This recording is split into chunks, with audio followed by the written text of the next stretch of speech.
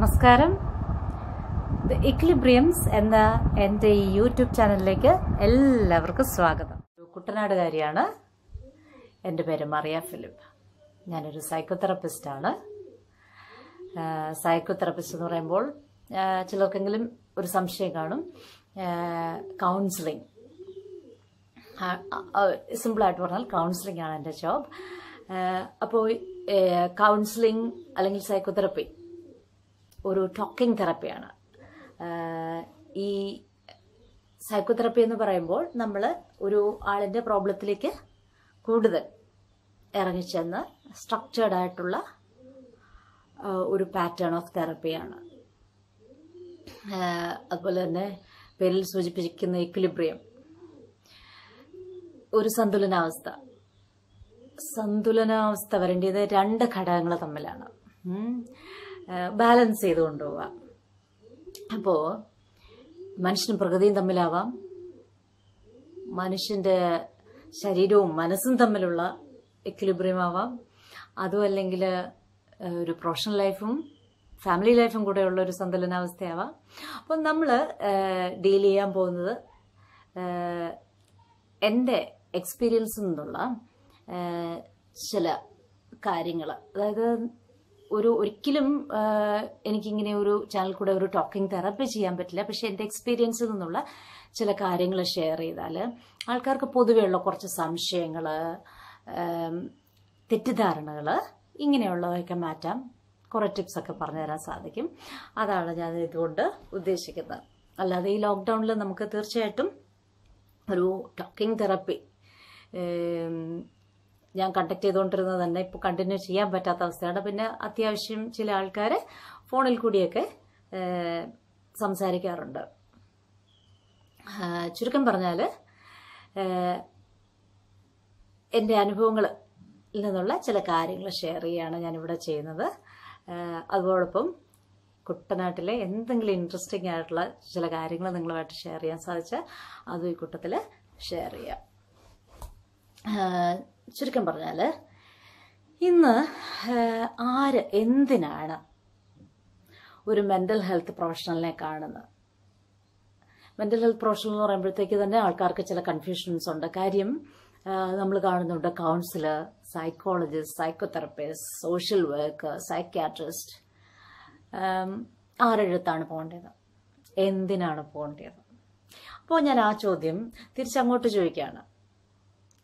നമ്മൾ സാധാരണ എന്തിനാണ് ആരുടെ അടുത്താണ് ഒരു എന്തെങ്കിലും ചെറിയൊരു അസുഖം വന്ന ഉടനെ പോകുന്നത്? എന്തിനാണ്?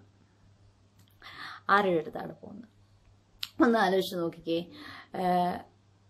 എവിടെ പോകുന്നു എന്ന് ചോദിച്ചു കഴിഞ്ഞാൽ ആ കുട്ടികളുടെ ഡോക്ടറെ കാണാൻ പോകുന്നു അല്ലെങ്കിൽ ഒരു ന്യൂറോളജിസ്റ്റിനെ കാണാൻ പോകുന്നു കാർഡിയോളജിസ്റ്റിനെ കാണാൻ പോകുന്നു. ഒരു ജനറൽ പ്രാക്ടീഷണർ കാണാൻ പോകുന്നു എന്ന് പോലുമല്ല. കാര്യം കേരളത്തിലുള്ള ജനങ്ങൾക്ക് അത്ര കണ്ട് അവയർനെസ് ഉണ്ട് അപ്പോൾ എന്താ പറയുക ഏത് സ്പെഷ്യലിസ്റ്റിനെയാണ് കാണേണ്ടത് വരെ അറിയാം.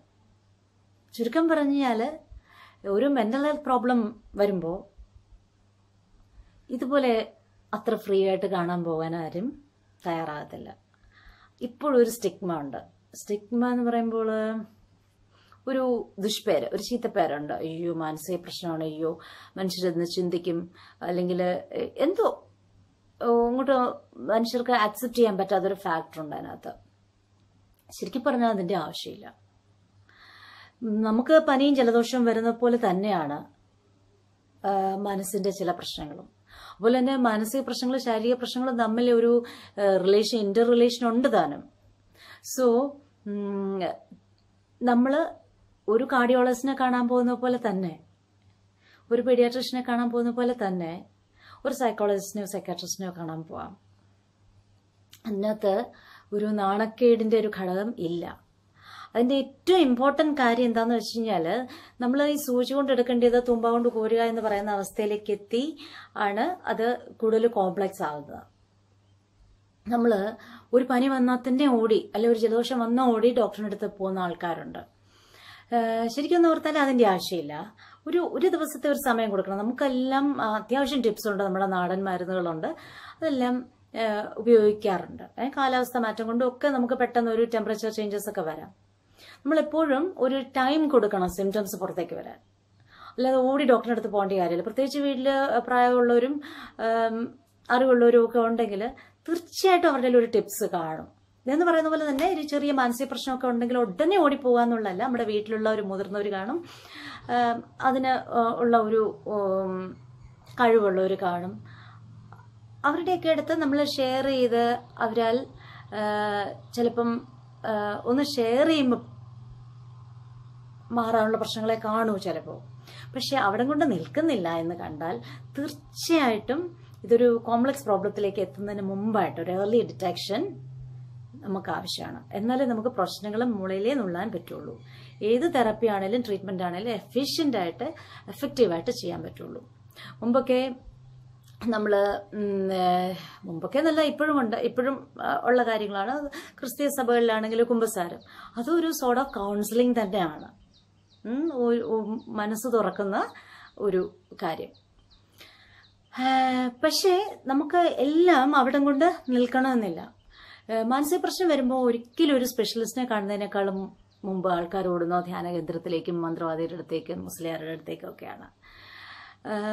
ഓക്കെ. നിങ്ങളുടെ വിശ്വാസത്തിൽ അങ്ങനെ ഉണ്ടെങ്കിലല്ലേ അതുകൊണ്ട് തീരുന്ന അങ്ങനെ ഒരു കൗൺസിലിംഗ് കൊണ്ട് തീരുന്ന കാര്യമേ ഉള്ളൂ എങ്കിൽ ഓക്കെ പക്ഷേ അത് തീരുന്നില്ല എന്ന് കണ്ട ഒരിടത്തു നിന്ന് അടുത്തടുത്തേക്ക് ഓടിയിട്ട് അർത്ഥമില്ല. സോ നമ്മൾ ഏറ്റവും അടുത്തുള്ള ഒരു പ്രൊഫഷണലെ കാണാം. അപ്പോൾ തീർച്ചയായിട്ടും അവർ നിങ്ങളെ അതിന്റെ അടുത്ത സ്ഥലത്തേക്ക് ഗൈഡ് ചെയ്യും അതിനാവശ്യമുണ്ടായെങ്കിൽ. അല്ലെങ്കിൽ അവിടെ അങ്ങോട്ട് തീരാവുന്ന പ്രശ്നമേ ഉള്ളൂ എങ്കിൽ അങ്ങനെ. അപ്പോൾ തീർച്ചയായിട്ടും ഇത് മുളയിൽ നുള്ളണം. ഇല്ല എങ്കിൽ എന്താ സംഭവിക്കുന്നത് വെച്ച് കഴിഞ്ഞാൽ കോമോർബിഡിറ്റി അതായത് ഒരു പ്രശ്നത്തിന്റെ കൂടെ വേറൊരു പ്രശ്നം കൂടെ. മോർബിഡിറ്റി എന്ന് പറഞ്ഞാൽ തന്നെ ഒരു ജീവച്ഛവമായിട്ട് നമുക്ക്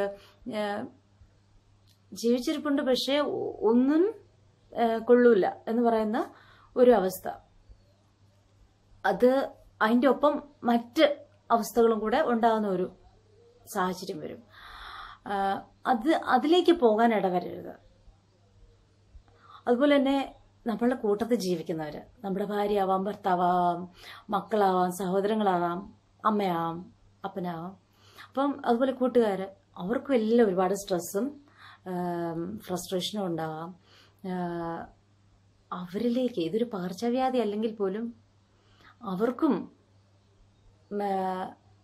ഇതുമായിട്ട് ബന്ധപ്പെട്ട് സ്ട്രെസ് കൂടി മറ്റു പ്രശ്നങ്ങളിലേക്ക് നീങ്ങാം. അപ്പോൾ ഇതൊക്കെ ഒഴിവാക്കാൻ വേണ്ടിയാണ് നമ്മൾ ആദ്യമേ ഒരു പ്രൊഫഷണലെ കാണണം എന്ന് പറയുന്നത്. ഈ ഫോർ എക്സാമ്പിൾ ഇപ്പോൾ നമുക്ക് എല്ലാവരും ഉപയോഗിക്കുന്ന വേർഡ് ഡിപ്രഷൻ. ശരിക്കും പറഞ്ഞാൽ ജീവിതത്തിൽ ഡിപ്രഷൻ അനുഭവിക്കാത്ത ആരും കാണൂല പക്ഷേ ഇത് നമ്മളുടെ ഡേ ടു ഡേ ലൈഫിനെ എഫക്റ്റ് ചെയ്യുമ്പോഴാണ് നമ്മളെ നമ്മൾ തിരിച്ചറിയുന്നത്. എന്ത് ആഘാതം ഉണ്ടെങ്കിലും നമ്മൾ അതിനകത്തൊരു റിക്കവറിങ് പീരീഡ് ഉണ്ട്. അതും കടന്ന് ഇത് പോകുമ്പോഴാണ് നമ്മൾ ക്ലിനിക്കലി ഡിപ്രസ്ഡ് എന്ന് പറയുന്നത്. അപ്പോൾ നമ്മൾ പറഞ്ഞത് ഞാൻ പറഞ്ഞു വന്നത് ഇത്രയും നമ്മൾ വൈഡായിട്ട് യൂസ് ചെയ്യുന്ന ഒരു വേർഡാണ് പക്ഷെ അപ്പോഴും ആരും ട്രീറ്റ്മെന്റിന് പോകാറില്ല. അതാണ് തെറ്റ്. സോ ആർക്കും എപ്പോൾ വേണമെങ്കിലും പ്രോബ്ലം വരാം. നമ്മൾ അതിനു വേണ്ടി പ്രൊഫഷണൽ ഹെൽപ്പ് സീക്ക് ചെയ്യണം. ഇതാണ് ആരാണ് എന്തിനാണ് ഒരു മെന്റൽ ഹെൽത്ത് പ്രൊഫഷണലെ കാണാൻ പോകുന്നത് എന്ന ചോദ്യത്തിന്റെ ഉത്തരം. പിന്നെ പറയുവാണെങ്കിൽ മുമ്പ് പറഞ്ഞതിന്റെ ബാക്കിയായി പറയുകയാണെങ്കിൽ എല്ലാവർക്കും നമ്മൾ പറയുന്ന പോലെ സ്വഭാവങ്ങൾ വ്യത്യസ്തമാണ്. പോസിറ്റീവ്സ് ആൻഡ് നെഗറ്റീവ്സ് ഇതൊക്കെ ഉണ്ട് ഓരോ രീതികൾ കാണും. പക്ഷേ എന്തെങ്കിലും ഒരു ചെറിയ വിഷമമായിക്കോട്ടെ എന്ത് ചെറിയ പ്രശ്നമായിക്കോട്ടെ വലിയ പ്രശ്നമായിക്കോട്ടെ ഇത് നമ്മുടെ ഉടനെ ഇതെല്ലാം ഒരു അസുഖമാണ് എന്ന് പറയുന്നതിനകത്ത് അർത്ഥമില്ല. ഇത് നമ്മളുടെ ഡേ ടു ഡേ ലൈഫിനെ നമ്മുടെ സോഷ്യൽ ലൈഫിനെ അഫക്റ്റ് ചെയ്യുമ്പോഴാണ് നമ്മൾ ജാഗരൂകരേണ്ടത് അപ്പോഴാണ് നമ്മൾ തിരിച്ചറിയേണ്ടത് ഒരു പ്രൊഫഷണൽ ഹെൽപ്പ് വേണം എന്നുള്ളത് അപ്പോൾ തീർച്ചയായിട്ടും ഒരു മാനസിക സമ്മർദ്ദമാകട്ടെ എന്തെങ്കിലും പ്രത്യേക സ്വഭാവമായിക്കോട്ടെ അതല്ല എങ്കിൽ ആൻസൈറ്റി ആയിക്കോട്ടെ എന്തും നമ്മളുടെ നോർമൽ ലൈഫിനെ അഫക്റ്റ് ചെയ്യാൻ തുടങ്ങുമ്പോൾ തീർച്ചയായിട്ടും ഒരു മെന്റൽ ഹെൽത്ത് പ്രൊഫഷണലിനെ കാണണം. അതുപോലെ തന്നെ ഇപ്പോൾ ഡ്രഗ് അഡിക്ഷൻ ആൽക്കഹോൾ അഡിക്ഷൻ അതുപോലെ ചെറുപ്പക്കാരുടെ ഇടയിൽ പോലും തീരെ എന്തൊരു ടീനേജേഴ്സിന്റെ ഇടയിൽ പോലും ഉണ്ട്. ഇതെല്ലാം മൂടി വയ്ക്കാൻ ശ്രമിക്കല്ലേ? ഇത് നമ്മുടെ ജീവിതത്തെ അടിയും തല്ലും വഴക്കും എത്തുന്നിടം വരേക്കും മുന്നോട്ട് കൊണ്ടുവരുത് ഇത് ആൾക്കാരറിഞ്ഞ നാണക്കേടാണ് എന്ന് ചിന്തിക്കരുത്. ഇത് അല്ലെങ്കിൽ നാളെ ഇത് വളരാൻ അനുവദിച്ചാൽ ഇന്നല്ലെങ്കിൽ നാളെ ഇത് ആൾക്കാർ അറിയും. സോ ഇത് നമ്മൾ മൂടി വെക്കേണ്ട ഒരു കാര്യമില്ല. ജീവിതത്തിന്റെ ഒരു ഘട്ടത്തിൽ അല്ലെങ്കിൽ മറ്റൊരു ഘട്ടത്തിൽ എല്ലാ ഫാമിലീസിലും ഒന്നല്ലെങ്കിൽ മറ്റൊരു പ്രശ്നം ഉണ്ടാവും. ഉണ്ടായേക്കാം. ഉണ്ടാവും എന്നല്ല. സോ തീർച്ചയായിട്ടും ഒളിപ്പിച്ച് വെക്കരുത്. ഇതിനെല്ലാം പരിഹാരങ്ങളുണ്ട്. അതിന് നമ്മളുടെ ആ ഒരു മനസ്സ് ഇത് നാണക്കേടാണ് എന്നുള്ള ആ ചിന്താഗതി മാറ്റണം. അപ്പോൾ ഇനി അടുത്ത ദിവസം ഞാൻ ഒരു സൈക്കോളജിസ്റ്റ് ഒരു കൗൺസിലർ ഒരു സൈക്കോതെറപ്പിസ്റ്റ് ഒരു സോഷ്യൽ വർക്കർ അല്ലെങ്കിൽ ഒരു സൈക്കാട്രിസ്റ്റ് ഇവരുടെയൊക്കെ കൃത്യമായ ഫങ്ഷൻസ് അല്ലെ അതെങ്ങനെയാണ് ഓവർലാപ്പ് ചെയ്യുന്നത് അതെങ്ങനെയാണ് വ്യത്യസ്തമാകുന്നത് അപ്പം ചിലപ്പോൾ നിങ്ങൾക്ക് കുറച്ചുകൂടി ഒരു കംഫർട്ടബിളായിട്ട് ഒരു പ്രൊഫഷണലെ കാണാനായിട്ട് സാധിച്ചേക്കാം. ഓക്കെ അപ്പോഴേക്കും അടുത്ത ദിവസം കാണുന്നിടം കാണുന്നിടം വരേക്കും. ഗുഡ് ബൈ ഇന്ന് സാധിക്കുകയാണെങ്കിൽ ഞാൻ ഒരു ക്രാബ് എന്താ ഞണ്ട് ക്ലീനിങ് ഉണ്ട്. അപ്പം ഞാനത് ക്ലീൻ ചെയ്യുമ്പോൾ ആ വീഡിയോ കൂടെ ഈ കൂട്ടത്തിൽ അറ്റാച്ച് ചെയ്യാൻ ശ്രമിക്കാം. ഓക്കെ ബൈ നമ്മുടെ ക്രാം ക്ലീനിങ് തുടങ്ങുകയാണ്. ഇതിന്റെ കണ്ടോ? ഇതിന്റെ കാൽ ഇതുപോലെ നമ്മളിങ്ങനെ അടത്തിയെടുക്കുക. കൈകൊണ്ട് തന്നെ എടുക്കാനുള്ളതേ ഉള്ളൂ എന്നിട്ട് ആ ഓരോ കാലിൽ അറ്റത്ത് രോമുള്ള തീർക്കാനം കുറഞ്ഞ പോർഷൻ ഉണ്ട്. അതും നമ്മൾ ഇതുപോലെ അങ്ങ് അടത്തിക്കളയും. പിന്നെ ഈ ഞണ്ടിന്റെ ഒരു പ്രത്യേകത എന്ന് വെച്ചാൽ ചിലരൊക്കെ ഇത് പുഴുങ്ങിയിട്ടാണ് ഈ ക്ലീൻ ചെയ്യുന്നത്. പക്ഷേ ഞാൻ ഇപ്പൊ ഏറ്റവും എഫിഷ്യന്റ് ആയിട്ട് ഞാനും അങ്ങനെ ചെയ്തിട്ടുണ്ട്. പക്ഷെ ഏറ്റവും എഫിഷ്യന്റ് ആയിട്ട് കണ്ടൊരു കാര്യം വെച്ചാൽ ഇത് ഫ്രീസ് ചെയ്തിട്ട് തിരിച്ചെടുത്ത് അതിന് നമുക്ക് സഹിക്കാൻ പറ്റുന്ന ഒരു തണുപ്പിൽ ക്ലീൻ ചെയ്യുന്നതാണ് ഏറ്റവും ഫ്ലഷ് ഒട്ടും പോകാതെ കിട്ടുന്നത് ഫ്രീസ് ചെയ്തിട്ട് എടുക്കുമ്പോഴാണ്. എന്നിട്ട് കണ്ടില്ലേ ഇത് ആദ്യം ഈ കാലാണ് നമ്മളിങ്ങനെ എടുക്കുന്നത്. ശരിക്കും പറഞ്ഞാൽ ഇത്ര ചെറിയ കാലൊക്കെ എല്ലാവരും എടുക്കത്തില്ല. ഇപ്പം നമുക്കിത് റയറായിട്ട് കിട്ടുന്നതുകൊണ്ട് അങ്ങനെ എടുക്കുന്നത്. അതുപോലെ തന്നെ വലിയ മുള്ളുള്ളത് വരുമ്പോഴത്തേക്ക് നമ്മളതുപോലെ എടുത്തിട്ട് നമുക്ക് സിസേഴ്സ് കൊണ്ട് വല്ലതും ആ അറ്റത്തെ മുള്ളങ്ങനെ കട്ട് ചെയ്ത് കളയാം പക്ഷെ ഒരുപാട് വലുതിനെ അങ്ങനെ കട്ട് ചെയ്ത് കളയാൻ പറ്റത്തില്ല. നമ്മളത് കഴിക്കുമ്പം ചെയ്യത്തേ ഉള്ളൂ. ഇനിയിപ്പം ഇനിയുള്ള ഈ പോർഷനാണ് മെയിനായിട്ടുള്ള ഇത് മീറ്റ് വരുന്നത്. അതിന്റെ ദേ കണ്ടോ ആ ഒരു ഫ്ലാപ്പ് ആ ഫ്ലാപ്പ് നമ്മളങ്ങനെ പറിച്ചു കളയാം. അപ്പോൾ ആ കൂട്ടത്തിൽ അവിടെ കുറച്ച് എന്താ പറയുക രോമം പോലെയൊക്കെ ഉണ്ട്. അതെല്ലാം ഇങ്ങനെ പിച്ചി കളയുമ്പോൾ പിന്നെ നമുക്ക് ഈ മെയിൻ ഷെല്ല് വളരെ എളുപ്പത്തിൽ ഇങ്ങനെ പൊളിച്ചെടുക്കാൻ പറ്റും. ഇങ്ങനെ ഈ പൊളിച്ചെടുക്കുമ്പം പിന്നെ ഇതിന്റെ ഉള്ളിൽ കാണുന്നത് അതിന്റെ പൂ മീന്റെ ഒക്കെ പൂ എന്ന് പറയുന്നത് അതിന്റെ ഗിൽസും പിന്നെ ഇത് മുട്ട ആകുന്ന ഒരു സമയത്താണെങ്കിൽ ഇച്ചിരി ഫ്ലഷി ആയിട്ടുള്ള ഭാഗമാണ് അത് ഞാനിവിടെ ഒരു ചെറിയ പാത്രത്തിൽ എടുത്ത് വെക്കുകയാണ്. എന്താണെന്ന് പറയുക നിങ്ങൾക്ക് ഈ ഇടയ്ക്ക് ഒരു പക്ഷി ചിലക്കുന്ന കേൾക്കാൻ പാടില്ല. ഒരു പക്ഷിയില്ല പലതും ചിലയ്ക്കുന്നുണ്ട്. എന്നാലും ഒരു മെയിനായിട്ട് നമുക്കൊരു പരുന്നു കുഞ്ഞുണ്ട്. അത് ചെറിയ പ്രായം തൊട്ട് അത് ഇവിടെ വന്നിരുന്ന് നമ്മൾ ഈ കൊടുക്കുന്ന ഭക്ഷണം എല്ലാം കഴിക്കും. അതുകൊണ്ട് അത് ഞാൻ മീൻ വെട്ടാനിരിക്കുമ്പോഴേ വന്ന് ചിലയ്ക്കാൻ തുടങ്ങും. അപ്പോൾ അതിന് കൊടുക്കാൻ വേണ്ടി അത് മാറ്റി വെക്കുന്നു. അവ- അവളത് കഴിച്ചിട്ടങ്ങ് പറന്നു പോകും. അതാ അതെല്ലാം ഞാൻ അവൾക്ക് വേണ്ടി എടുത്ത് മാറ്റി വെക്കുകയാണേ. ആ, ഇനിയിപ്പോൾ നമ്മൾ മെയിനായിട്ടുള്ള ക്ലീനിങ് കഴിഞ്ഞു. കണ്ടോ? ഇപ്പം ഇനി അതിനകത്തും ഉള്ളത് ചെറിയ ഷെല്ലുള്ള ഒരു പോർഷനാണ്. നമുക്ക് ഒന്നായിട്ട് വേണം ഇപ്പം ഇനി ഇപ്പം ഇത് ഇങ്ങനെ കുക്ക് ചെയ്യും. നമുക്ക് വേണമെങ്കിൽ ഇത് രണ്ടായിട്ട് മുറിച്ചിടാം അല്ലെങ്കിൽ ഒന്നിച്ചിടാം. എങ്ങനെ വേണമെങ്കിലും ചെയ്യാം. സത്യം പറഞ്ഞാൽ ഇത്രയും വളരെ എളുപ്പമാണ് ക്ലീനിങ്. ഇതിനി കുക്ക് ചെയ്യാന്ന് പറഞ്ഞാൽ നമ്മൾ ഈ ഇറച്ചി ചെയ്യുന്ന പോലെ ഏത് പ്രിപ്പറേഷനും ആകാം. പുളിക്ക് വേണ്ടി നമ്മൾ കുടംപുളിയോ ടൊമാറ്റോയോ ഇടും. അതാണ് ഒരു വ്യത്യാസം. അതുപോലെ ക്രാബിനെ ക്ലീൻ ചെയ്യുന്ന വീഡിയോ ഇട്ടിട്ടുണ്ട്. ശരിക്കും പറഞ്ഞാൽ അത് അങ്ങനെ ക്ലീൻ ചെയ്തെടുത്ത് ഒന്നുകൂടെ ഒന്നോ രണ്ടോ പ്രാവശ്യം കൂടെ വാഷ് ചെയ്തെടുക്കുക. എന്നിട്ട് നമ്മൾ ഏത് മീറ്റ് വെക്കുന്ന പോലെ അങ്ങ് വെച്ചാൽ മതി.